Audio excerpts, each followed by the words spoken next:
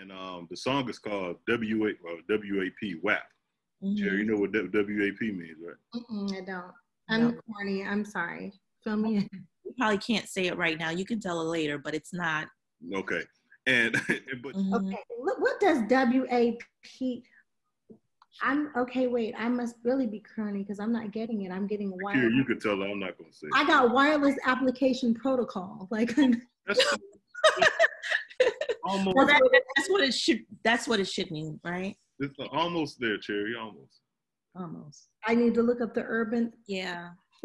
So I just want you to know, Courtney makes fun of me, okay? Because I, I don't watch TV, mm-hmm. and I don't ever know what's trending, and I'm all out of the loop.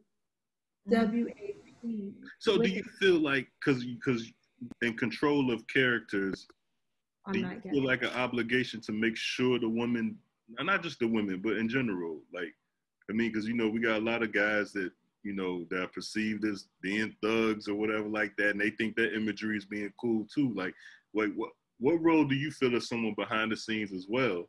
Like, do you um, a responsibility? Do you have any? Do you feel like that? That you have any responsibility with that?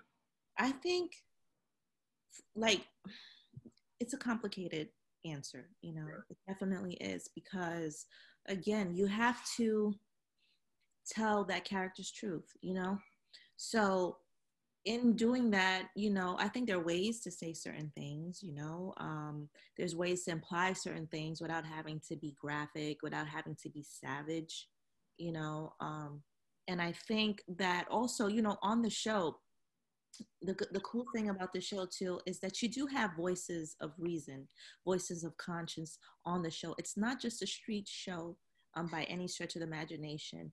Um, while a lot of the people come from the streets of Camden, you do have a lot of positive people, a lot of positive images um, uh, that kind of like sway the moral compass. You know what I mean? So it, you know, it's not just one type of character that you're going to see. You know. I'm smiling because he just wrote me what it means, and I was over here just googling, and I was like, I don't understand. Mm-hmm. Yeah. Wow. wow. Yeah. So, wow. So, so the two